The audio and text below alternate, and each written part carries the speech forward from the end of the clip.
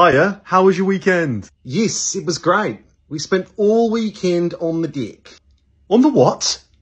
On the deck. All weekend? Oh, that sounds... Per- Are you okay? What's wrong with me spending all weekend on the deck? Well, I mean, nothing, but... You're 74, Brenda.